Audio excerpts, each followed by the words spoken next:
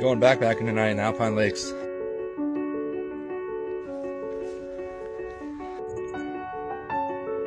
Come on, we're coming too.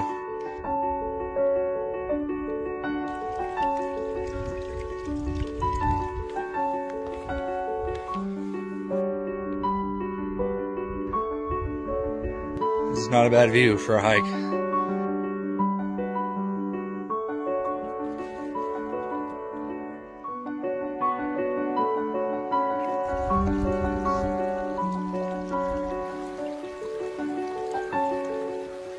This is home for the night.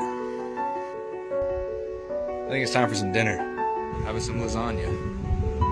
Can't forget the beer. Cheers.